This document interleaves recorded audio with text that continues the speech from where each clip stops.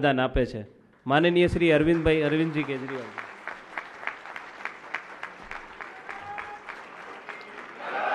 ભારત માતા કી, ભારત માતા કી, વંદે વંદે.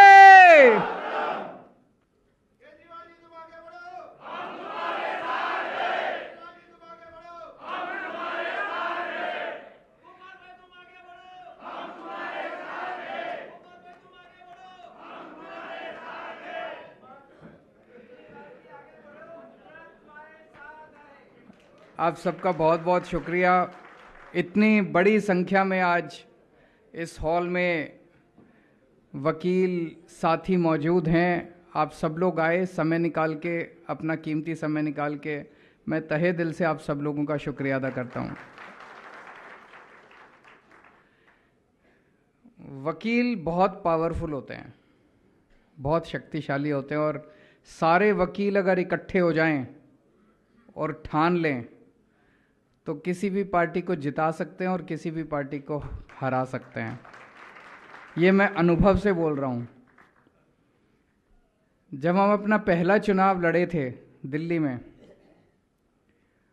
तो कुछ ऐसा संयोग बना कि भारतीय जनता पार्टी ने दिल्ली में किरण बेदी को अपना सीएम कैंडिडेट डिक्लेयर कर दिया। किरण बेदी से वकीलों का कोई पुराना लफड़ा था। कोई कभी किरण बेदी जी पुलिस में थी, कोई कभी वकीलों के प्रोटेस्ट पे उन्होंने लाठीचार्ज वगैरह कराया था कई साल पहले तो तब से वकील उसको अपने मन में लेके बैठे थे कि इनको सबक सिखाएँगे। तो जब बीजेपी ने डिक्लेयर किया किरण बेदी जी को अपना सीएम कैंडिडेट तो सारी अलग अलग बार के लोग मुझसे मिलने के लिए आए, उन्होंने कहा, सर, हम आपको सपोर्ट करेंगे। हम इनको हराएँगे। और सारी, सारे वकील इकट्ठे हो गए दिल्ली के और उन्होंने अपनी टीम्स बनाई, जाके डोर टू डोर प्रचार किया। और किरण बेदी जी खुद उनकी सीएम कैंडिडेट भी हमारे एक छोटे से नेता से हार गई। तो आए अब दो महीने के बाद चुनाव है। मैं लिपा पोती नहीं करूँगा, सीधे बोलूँगा, मैं आप लोगों का समर्थन मांगने के लिए आया हूँ, आप लोगों से सहायता मांगने के लिए आया हूँ। अगर गुजरात के सारे वकील इकट्ठे हो जाएँ, वकील जो है, उनका वर्ड ऑफ़ माउथ जो है, वो बड़ा स्ट्रांग होता है। जो बोलते हैं, आपस में बोलते हैं, दस लोगों से बात करते हैं, दिन में इतने सारे क्लाइंट्स आते हैं, सबसे बात करते हैं, वो वर्ड ऑफ़ माउथ बड़ा स्ट्रांग होता है। अगर सारे वकील इकट्ठे हो जाएँ, सारे वकील साथ दें तो 27 साल का भाजपा का शासन खत्म हो सकता है और गुजरात के अंदर भी एक ईमानदार आम आदमी पार्टी की सरकार आ सकती है। आप पूछेंगे, आपको वोट क्यों दें? मैं आपको एक्सप्लेन करूँगा कि आपको आम आदमी पार्टी को वोट क्यों देना चाहिए। सबसे पहले तो वकीलों के लिए दिल्ली में हमने क्या किया? दिल्ली में हमारी सरकार आने के बाद वकीलों के साथ हमारी सीरीज़ ऑफ़ मीटिंग्स हुई। अभी तक मैं ये समझता था कि दिल्ली के अंदर हमने वकीलों के लिए जो किया, वो सबसे बेस्ट किया। अभी अभी मुझे पता चला शायद केरला वाले हमसे दो कदम आगे निकल गए हैं। मेरे को केरला की स्कीम के बारे में पता नहीं था। एक तो हमने वकीलों की डिमांड थी कि उनके चेंबर की बिजली फ्री की जाए। हमने वकीलों के चेंबर की बिजली फ्री कर दी। मुझे लगता है ये शायद पूरे देश में अकेला दिल्ली है जहाँ पे वकीलों के ऑफ़िस के जो चेंबर्स हैं, जो कोर्ट के जो चेंबर्स हैं, उनकी बिजली फ्री है। दूसरा उनकी दो डिमांड्स और थी। एक था लाइफ इंश्योरेंस और दूसरा था हेल्थ इंश्योरेंस उसके लिए हमने अपने हिसाब से बहुत ही लिबरल पॉलिसी बनाई थी। दस लाख रुपए का हमने लाइफ इंश्योरेंस करवाया ग्रुप लाइफ इंश्योरेंस और पाँच पाँच लाख रुपए का उनका और उनके परिवार का हमने हेल्थ इंश्योरेंस कराया। कोरोना के वक्त एक वकीलों की मौत हो गई थी। बड़े दुख की बात है। लेकिन हर परिवार को हमने इंश्योर किया दस दस लाख रुपया मिला, सोलह करोड़ रुपए हमने इंश्योरेंस कंपनी से उनके परिवार को दिलवाए।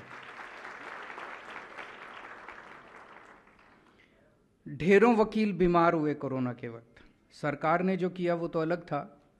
लेकिन हेल्थ इंश्योरेंस की वजह से 2888 2888 वकीलों ने हेल्थ इंश्योरेंस का फ़ायदा उठाया और लगभग 15 करोड़ रुपए वकीलों को और उनके परिवार को हेल्थ में, बीमारी में उन लोगों को फ़ायदा हुआ। अभी जो जो डिमांड्स आई हैं मेरे पास,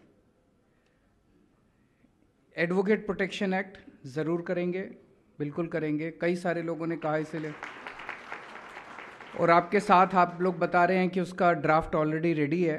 उसको ड्राफ्ट को और अगर सम स्ट्रेंदन करने की ज़रूरत हुई, उसको और स्ट्रेंदन करेंगे। और केवल मुझे लगता है कानून पास करने से नहीं होगा। उस कानून को पुलिस मशीनरी के साथ भी स्ट्रेंदन करना पड़ेगा। तो जो भी व्यवस्था बनाने की ज़रूरत है, ये दुर्भाग्यपूर्ण है कि वकीलों के ऊपर और डॉक्टर्स के ऊपर काफ़ी अटैक होते हैं। जब भी कोई उनसे सेटिस्फाई नहीं होता तो उनके ऊपर अटैक होते हैं। इसको बंद होना चाहिए, ये ये पूरी की पूरी प्रथा बंद होनी चाहिए। तो एडवोकेट्स के प्रोटेक्शन के लिए कानून लाया जाएगा और पूरी व्यवस्था बनाई जाएगी। एक है, नए एडवोकेट्स को पाँच पाँच हज़ार रुपये मिलना चाहिए। केरला ऐसा देता है। मैं केरला की स्कीम को स्टडी करूँगा। ये वहाँ पे भी डिमांड थी। केरला की स्कीम को स्टडी करूँगा और उसकी स्कीम को स्टडी करने के बाद आपको एश्योर करता हूँ कि उनसे बेहतर स्कीम आपके यहाँ लागू करेंगे।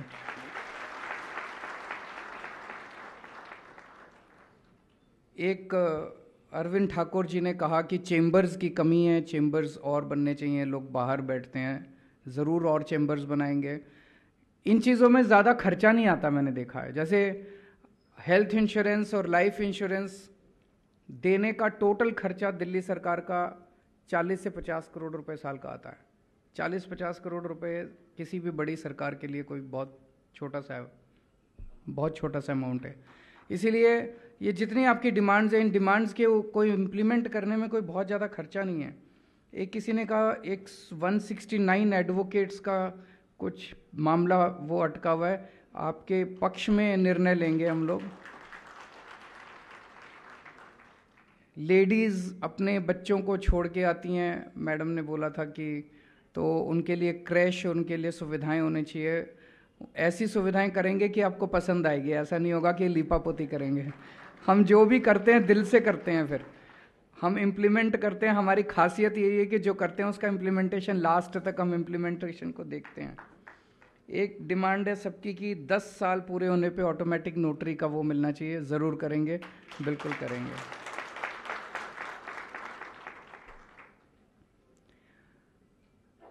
एक मेरे मन में पीड़ा रहती है।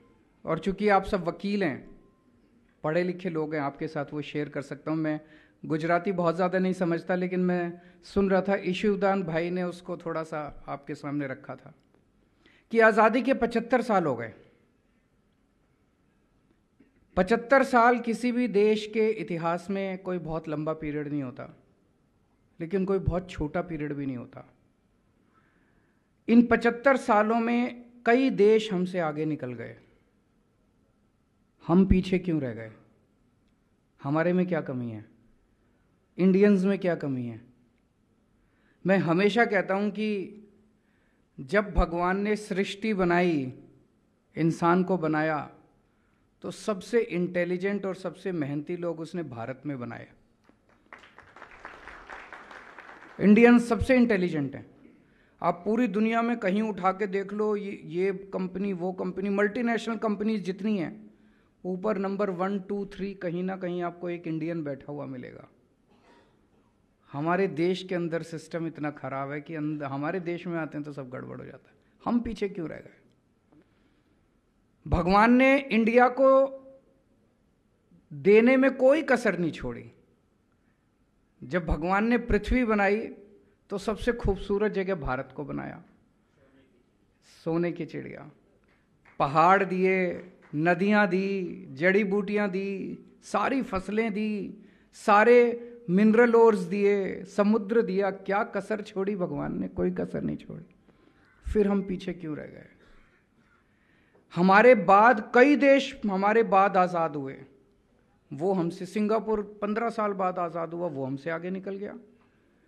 जापान सेकेंड वर्ल्ड वॉर में तहस नहस हो गया था, वो हमसे आगे निकल गया। जर्मनी सेकेंड वर्ल्ड वॉर में हमसे तहस नहस हो गया था, वो हमसे हम पीछे क्यों रह गए? हमारे में क्या कमी है? मुझे यह लगता है कि एक चीज़ ऐसी है, बहुत कुछ करने की ज़रूरत है। एक चीज़ ऐसी है, जिसे अगर हम वॉर फुटिंग के ऊपर करें, मिशन मोड में करें तो भारत को बहुत जल्दी गरीबी से बाहर निकाला जा सकता है। भारत एक अमीर देश बन सकता है, डेवलप्ड कंट्री बन सकता है। और वो है शिक्षा। ये मैं अपने अनुभव से कह रहा हूँ, या भाषण के बेसिस पे नहीं कह रहा आज जब मैं कहता हूँ कि मैं अच्छी शिक्षा दूँगा फ्री में शिक्षा दूँगा तो मेरा मज़ाक उड़ाते हैं। कहते हैं, केजरीवाल फ्री की रेवड़ी बांट रहा है। अच्छी शिक्षा और फ्री शिक्षा देना फ्री की रेवड़ी नहीं है।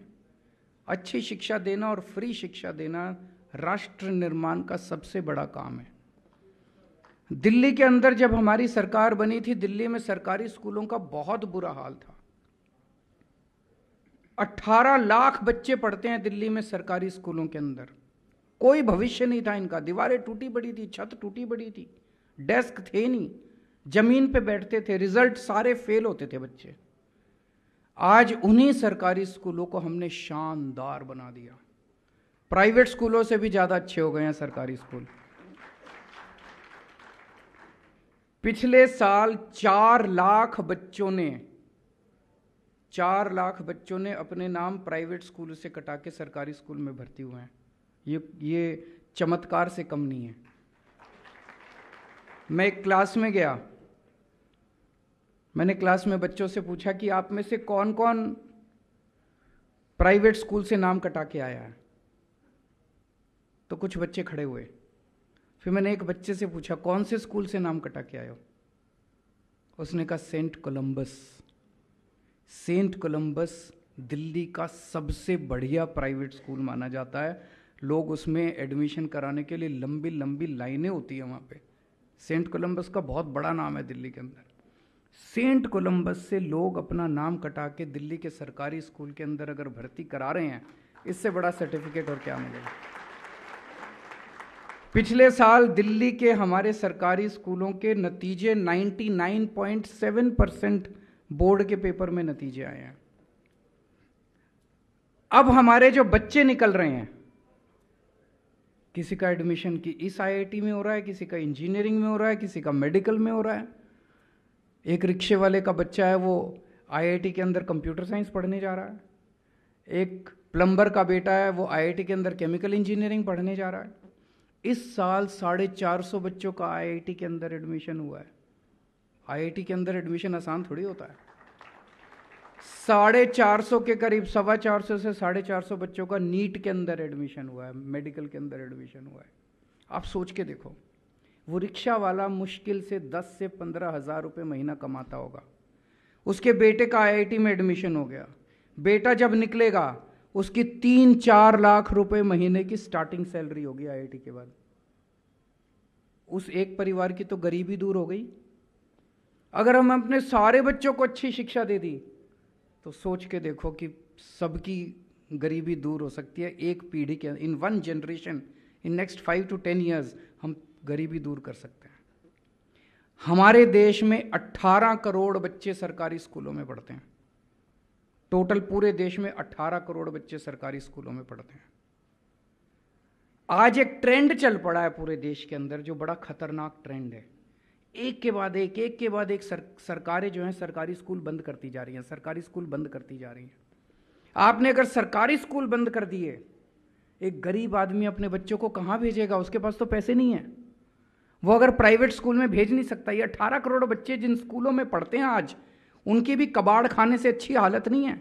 फिर भी भेजते हैं, मजबूरी में भेजते हैं। वो भी अगर आप बंद कर दोगे, अट्ठारह करोड़ बच्चे अनपढ़ रह जाएँगे हमारे देश के अंदर।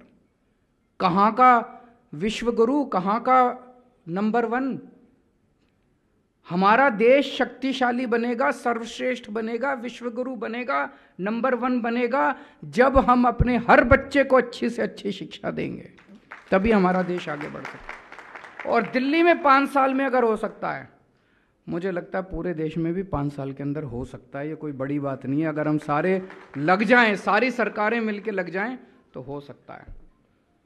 दिल्ली के अंदर किया, पंजाब के अंदर शुरू कर दिया हम लोगों ने। सौ स्कूल तैयार हो जाएँगे अगले पाँच सात महीने, और उसके बाद उसको मॉडल बना के सारे स्कूलों को ठीक करेंगे। अगर आप हमें एक मौका दोगे तो गुजरात के भी सारे स्कूल शानदार बना देंगे।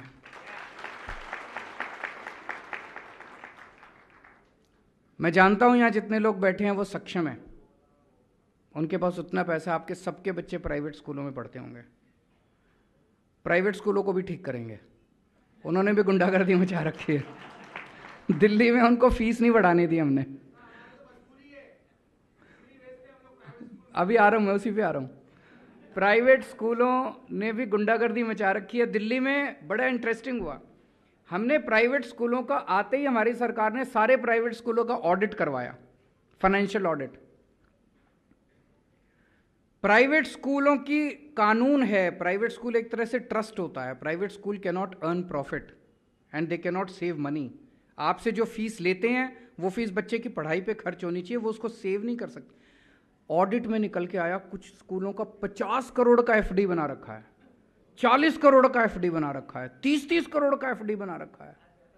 और यहाँ ज़्यादा होगा। यहाँ तो सत्ताईस साल की सरकार है।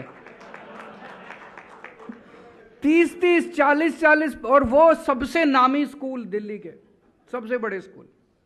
उनके एफडी तुड़वा के हमने बच्चों की फ़ीस वापस कराई, लोगों के बैंक अकाउंट में पैसे। भारत के इतिहास में पहली बार हुआ होगा। कि स्कूलों ने फ़ीस वापस की। स्कूल तो फ़ीस लेते हैं, स्कूलों ने फ़ीस वापस की। और उसके बाद हमने कानून बना दिया कि सरकार की मर्ज़ी के बिना कोई स्कूल फ़ीस नहीं बढ़ाएगा। दो चार को छोड़ के सात साल से किसी की फ़ीस नहीं बढ़ी अभी तक दिल्ली के सर, प्राइवेट स्कूलों में। तो पहली चीज़ तो ये, प्राइवेट स्कूलों को डिसिप्लिन करेंगे, ठीक करेंगे, किसी को नाजायज फ़ीस नहीं बढ़ा देंगे, बढ़ाने देंगे, सबका ऑडिट कराएँगे। दूसरी चीज़ मैं आपको एश्योर करता हूँ, पाँच साल में गुजरात के सरकारी स्कूल इतने अच्छे कर देंगे। यहाँ बैठे हुए सत्तर से अस्सी परसेंट लोग अपने बच्चों के नाम प्राइवेट से कटा के सरकारी स्कूलों में भर्ती कराएँगे। दूसरी इंपॉर्टेंट चीज़ है हेल्थ हेल्थ और एजुकेशन ये सबसे इंपॉर्टेंट है। आज इतना महँगा हो गया इलाज कराना, इतना महँगा हो गया इलाज कराना कि आपको छोटी सी बीमारी हो जाए, डॉक्टर के पास चले जाओ, तीन चार हज़ार रुपये से कम का तो बिल आता ही नहीं है। और भगवान ना करे अगर बड़ी बीमारी हो जाए तो आठ दस लाख रुपए का बिल आ जाता है किसी भी सामान्य से हॉस्पिटल के अंदर। आदमी तो लुट जाता है, तनख्वाह है नहीं, तनख्वाह बढ़ नहीं रही है। दिल्ली में हमने सबका इलाज, चाहे गरीब हो, चाहे अमीर हो, दो करोड़ लोग दिल्ली में रहते हैं, सबका इलाज हमने सारा इलाज मुफ़्त कर दिया। कितना भी खर्चा है अगर आपको छोटा सा बुखार है, मोहल्ला क्लिनिक बना दिए गली गली के अंदर। आप मोहल्ला क्लिनिक में जाइए, डॉक्टर फ्री, टेस्ट फ्री, इलाज फ्री और शानदार मोहल्ला क्लिनिक है। ऐसा मोहल्ला क्लिनिक मोहल्ला क्लिनिक तो एक तरह से सरकारी डिस्पेंसरी हुई। लेकिन ग्रेटर कैलाश, जो दिल्ली की सबसे पौश कॉलोनी है, वहाँ पे दो मोहल्ला क्लिनिक है। एक बार मैं सड़क से गुजर रहा था, सड़क से गुजरते हुए अगर मुख्यमंत्री कह के जाए ना कि आज मैं देखने आऊँगा तो सब कुछ ठीक हो जाता है। फिर उस विज़िट का कोई फ़ायदा नहीं है। मैं सड़क से गुजरता, मैं गाड़ी रोकी, मैं एक मोहल्ला क्लिनिक में घुस गया। वहाँ पे इतने संभ्रांत और इतने अमीर घरों की महिलाएँ उस मोहल्ला क्लिनिक में इलाज कराने आई हुई थी। मैंने उनसे पूछा, उन्होंने कहा, जी, डॉक्टर बड़ा अच्छा है और सारा इलाज मुफ़्त होता है। सब कुछ, सारे टेस्ट मुफ़्त होते हैं, सारी दवाइयाँ मुफ़्त मिलती हैं, सारा इलाज मुफ़्त होता है।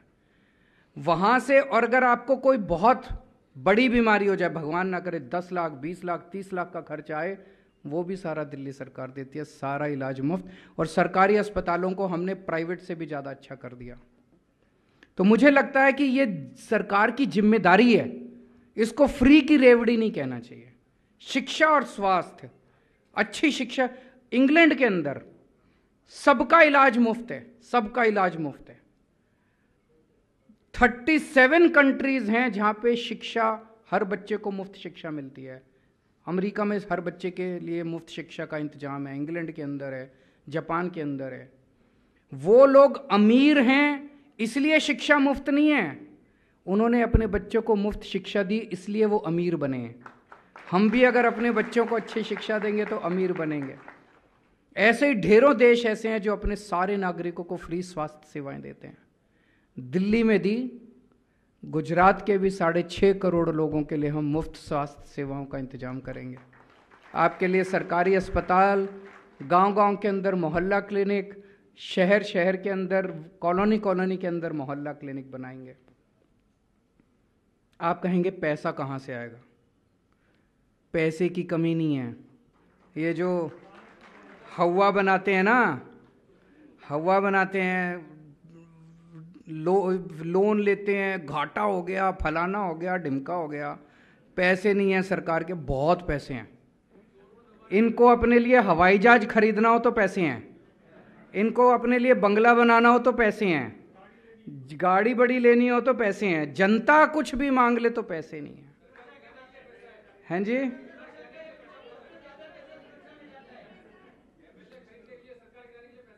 एमएलए खरीदने के लिए पैसे बहुत हैं।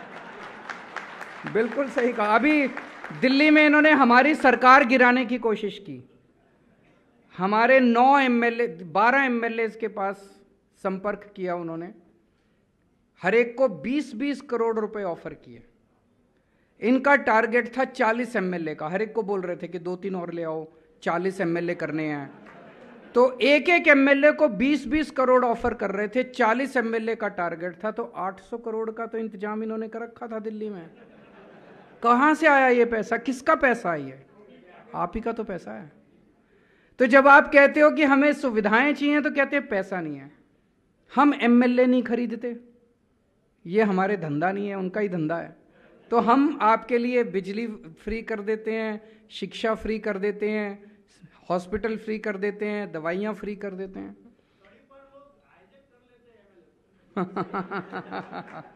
तो भ्रष्टाचार खत्म करेंगे। भ्रष्टाचार खत्म करने से इतना पैसा बचेगा, इतना पैसा बचेगा और भ्रष्टाचार आज एक ही पार्टी है पूरे देश के अंदर जो कट्टर ईमानदार पार्टी है। अभी आप लोगों ने सुना होगा पंजाब के अंदर हमारा अपना एक मिनिस्टर उसकी रिकॉर्डिंग निकल के आई कि वो किसी से पैसे मांग रहा था। भगवंत मान ने आप देखा ना ताव उसने उसको सीधे जेल भेज दिया हमारे अपने मिनिस्टर को। ये कभी अपने वालों पे कोई एक्शन नहीं लेते, दूसरे वालों पे सीबीआई ईडी कराते हैं।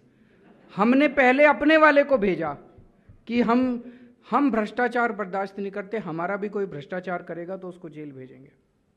आज दिल्ली के अंदर और पंजाब के अंदर, किसी भी सरकारी दफ्तर के अंदर कोई भी काम बिना पैसे के होता है। आपको चाहे लाइसेंस बनवाना है, आपको चाहे राशन कार्ड बनवाना है, आपको बिजली का कनेक्शन लेना है, आपको पानी का कनेक्शन लेना है, आपको पेंशन लगवानी है, कोई भी काम कराना है, आपको कोई किसी को रिश्वत देने की ज़रूरत नहीं है, बिना पैसे के काम होता है। तो भ्रष्टाचार मुक्त शासन देंगे, बहुत पैसा बचेगा। अभी साढ़े तीन लाख करोड़ का कर्जा है गुजरात के अंदर। पाँच साल दे दो इन पाँच साल पहले दिल्ली पे भी बहुत कर्जा था। आज पिछले साल की सीएजी की रिपोर्ट आई है। उस रिपोर्ट में लिखा है कि दिल्ली पे अब एक भी पैसे का कर्जा नहीं है और दिल्ली का बजट नफे में आ रहा है पॉजिटिव बजट आ रहा है। ये फ़ायदा है पढ़ा लिखा आईआईटी के इंजीनियर को सीएम बनाने का।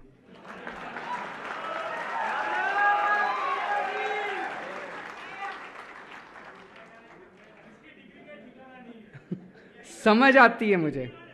फाइनेंस भी समझ आती है इंजीनियरिंग भी समझ आती है। तो भ्रष्टाचार। आपका बहुत बहुत शुक्रिया, sir. Thank you so much आपका आशीर्वाद रहे। सत्ताईस साल आपने इनको दिए। मैं इनकी बुराई नहीं करूँगा। लेकिन सत्ताईस साल बहुत होते हैं। इन्होंने जो अब करना था, वो कर दिया। अब अगले पाँच साल में तो वो वही वही रिपीट होगा जो ये कर रहे हैं। कोई कुछ नया नहीं करने वाले। कुछ नया नहीं करने वाले। एक मौका हमें भी दे दो।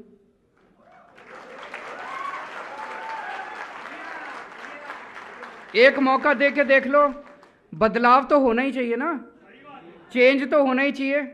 अगर पाँच साल में जो जो बातें मैं कह रहा हूँ, वो मैं नहीं करूँगा। मुझे लात मार के भगा देना, गुजरात में घुसने मत देना अगली बार। एक मौका दे दो। पिछली बार दिल्ली के चुनाव में मैंने कहा था 2020 में अभी जो चुनाव हुआ, मैंने दिल्ली की जनता को कहा था। मैंने कहा, पाँच साल में अगर मैंने काम ना किया हो आपके लिए, मुझे वोट मत देना। ये कहने के लिए जिगरा चाहिए। ये लोग क्या करते हैं? हर पाँच साल बाद आते हैं। कहते हैं, एक मौका और दो। इनके मौके पूरे ही नहीं होते। ज़िंदगी बीत जाती है, हर पाँच साल के बाद आके कहते हैं, एक और दे दो बस, एक और दे दो।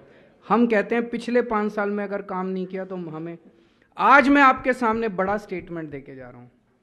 आपके दिल्ली में दोस्त होंगे, रिश्तेदार होंगे चाहे किसी भी पार्टी के हो, मैं चैलेंज करता हूँ। आप उसको फ़ोन करके पूछ लेना, क्या केजरीवाल अच्छा काम कर रहा है? अगर वो कहे, नहीं कर रहा, मुझे वोट मत देना गुजरात में। दिल्ली की जनता खुश है हमसे। दिल्ली की जनता प्यार करती है हमसे। एक टाइम ऐसा था, जब वकील जो हैं, दिल्ली के सत्तर अस्सी परसेंट वकील जो हैं, वो भाजपा के लॉयल थे। आज दिल्ली के सत्तर अस्सी परसेंट वकील जो हैं वो केजरीवाल के साथ हैं। वो हमें प्यार करते हैं, क्योंकि हम उनका ख्याल रखते हैं। हैं जी? आप भी प्यार करते हैं थैंक यू सो मच आप सब लोगों का बहुत बहुत शुक्रिया। एक ही रिक्वेस्ट है। मीडिया बहुत कुछ दिखा नहीं पा रहा, उनकी मजबूरी है।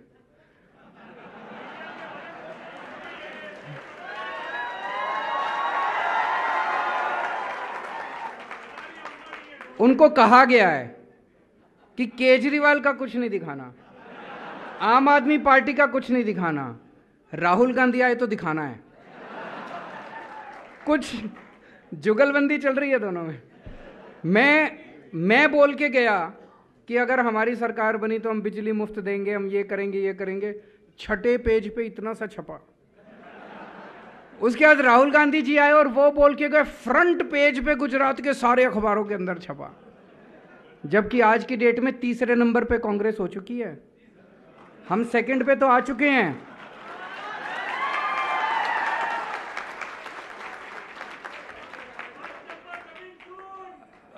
अभी आज की डेट में जो सर्वे आ रहे हैं, हम ऑलरेडी सेकंड पे आ चुके हैं।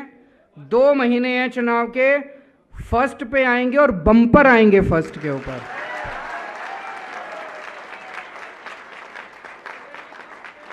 दिल्ली वालों ने पहले रिकॉर्ड बनाया था। सत्तर में से सड़सठ सीट दी थी। फिर पंजाब ने रिकॉर्ड बनाया। 117 में से 92 सीट्स दी थी। अब गुजरात दोनों का रिकॉर्ड तोड़ने वाला है। भारत माता की